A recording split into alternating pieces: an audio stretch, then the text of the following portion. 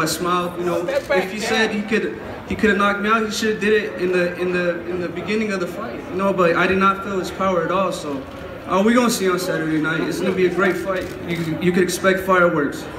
Why, why did You you, know I'm, I'm ready to fight. You know. I'm ready to fight too. I'm ready to. That's gonna be that's gonna, that's gonna be amazing fight. So I call everybody in Las Vegas to come to support this fight because it's gonna be amazing fight. You know. It's a good thing we got Sam Watson up here for protection. Sam, Sam, you're going to keep the peace here? Okay, Sam.